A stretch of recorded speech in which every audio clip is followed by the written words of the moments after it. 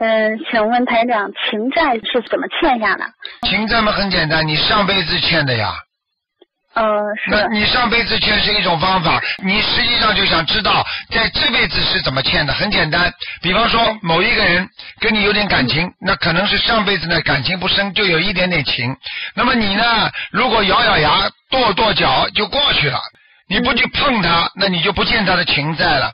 如果呢，他人家本身上辈子呢，只不过是对你好了一点点，那么呢，或者做了一些不好的事情，比方说啊，不应该碰碰你了，碰碰你了，那么这辈子呢，这辈子呢，他来还你了，他就会眼睛从你看了，喜欢你了。这个时候呢，你呢觉得哎呦，他喜欢我，哎呀，骨头轻了，然后接下来呢，就开始去跟他好了。接下去呢，好了，好过头了，好过头之后呢，你还他的多了，然后呢，他你就又欠他了，就这么欠下来了。那么下辈子呢，你再还他，那只要是欠了就一定要还，是吗？对，一定要还的，嗯，哦，那那个情债很可怕，不好。非常可怕，而且情债是越还越多，越来越来越还不清。哦，很多人一辈子为情所困，为情所迷，为情所痴，也就是说痴迷呀、傻的不得了啊！一个人，所以人家说谈恋爱的时候智商是最低的，你明白了吗？明白。啊，嗯，嗯，所以说情不重不胜。对对，完全完全，我告诉你说婆世界很多人就是脱离不了这个情字，所以这个爱在人间是这个是永恒的主题啊。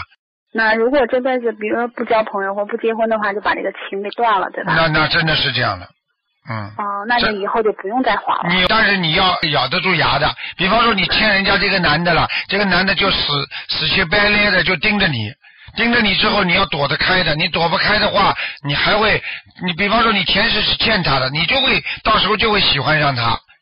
那么你要靠很强的毅力，你知道这是我要该还债了，我现在不还，我念经给他，狂念经，然后解结咒啊、礼佛呀、念小房子给这个男的啦，然后念心经给他啦，那么慢慢的再加上自身的力量，我坚决不去，再好看、再我喜欢的男人，我就不去跟他，因为我知道这个这段缘分已经是不不行了，因为这段缘分跟他的话，我的家就没了。你这么咬咬牙、咬咬牙，时间长了，这个事情就过去了。嗯，那么这段情算还完了，那下辈子呢？至少你不要再欠他的了。那会不会这辈子然后我没有还他，然后下辈子嗯那个还要去还他呢？啊，不会的。你如果单单咬咬牙、跺跺脚，你不去还他了，那你下辈子还要还。问题就是你念经了，哦。你用小房子还了。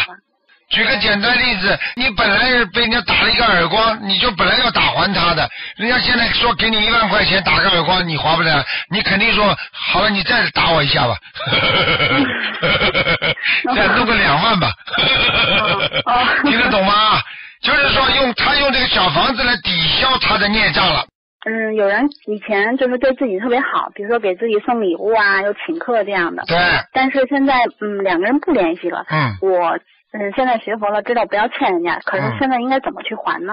你如果两个人不联系的，就不要找机会再去跟他联系，因为他如果你跟他的缘分恶缘还没断，好像还有我现在听了卢台长讲了，我们要还清嘛，再去跟人家联系，好像心里舒服一点，实际上还带有这么一点点的眷恋，实际上你又在玩火了。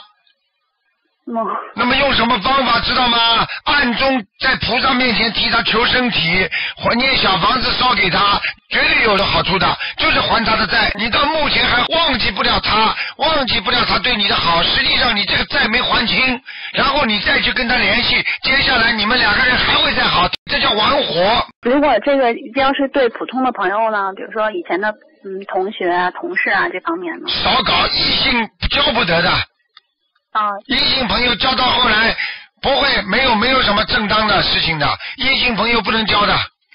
那我告诉你呢，我男朋友多的不得了呢，但是呢，我从来不跟他们有事情的。你看我这个人就是这能够在男生当中啊，与如鱼得水，大家都对我好，但是我跟他们就像兄弟姐妹一样，同学一样，我们没有其他关系。你相信吗，小姐？嗯，骗孩子呢，该不要去的就不要去碰。什么男男女女啊！我告诉你，老头子老太太都会擦出火花出来的，老实一点的，嗯，不去碰。有本事念经给他，暗中替他祷告，替他求情，替他求观世音菩萨消除他孽障，他身上的孽障来找你，你就忍耐着，然后你就给他念小房子，不停的还，嗯，明白了吗？明白。这个人间呐、我告诉你啊，很你们不知道的地府的事情和天上的事情，不知道比人间要复杂多少多少倍呢。那如果要是同性之间也是这么还，对吧？同性也是这样，嗯，以前做梦梦见过，说有有一个人给自己一张纸，前排的名，嗯，前排人的名字呢就是不认识的，前嗯第一排是写人名，然后后边写的是钱数，不认识的人钱特别多，但是认识的现在的同事呢钱特别的少。嗯，这个如果那就是自己知道，就是说现在肯定是欠同事的，但是现在应该怎么还，也是照您现在说的这方法吗？对你一定要记住，最好跟同事大家保持一个平等的关系，而且千万不要眼睛啊、行为啊、语言呐、带有任何一点点暧昧关系，像这种都是你噪音的一个果。你造了这个因的话，你实际上就是在碰你的情线了。你这个情线底线一冲破的话，对不起，你一定要还的，明白了吗？明白。哎，不要搞这些事情啊！我告诉你，一个学佛的人一定要咬咬牙，克制克制自己。再喜欢吃的菜不要去吃，再喜欢买的东西不要去买，再喜欢碰的东西不要去碰。佛法讲以戒为本，什么叫本呢？本就是根本，所以学佛的人一定要戒，没有戒律的话，这个人学不好佛的。嗯哎呦，我很相信菩萨，我很要念经的，但是呢，我就是看着这个呢，实在的手痒，我要拿一点，偷一点，然后呢，这个呢，我实在熬不住，我要吃一点。好了，这种都是不能守戒的人。哎呀，我看见人就想骂他几句，那就不叫守戒，你听得懂吗？明白，嗯，那如果比如说欠，就是现在知道欠了很多同事的欠他们债，但啊是应该这样怎么还呢？如果人家不来找你的话，你就不去管他；如果人家有人来找你，你就该还钱的还钱，该送礼的送礼。但是感情一旦谢绝，然后呢，不停的给他们念姐姐咒，因为他只要现在还能来找你的，说明你的情缘跟他还没有结束。然后接下来呢，你就啊、呃他找到你了，你就给他送礼送钱，送找找个过年的时候送红包，然后呢，呃，送大一点，希望把这个情分呢，大家就拜拜了，明白了吗？